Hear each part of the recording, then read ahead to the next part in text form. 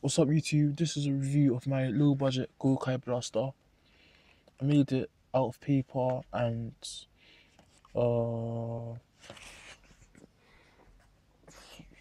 this is the um the thing for the ranger keys. Uh yeah.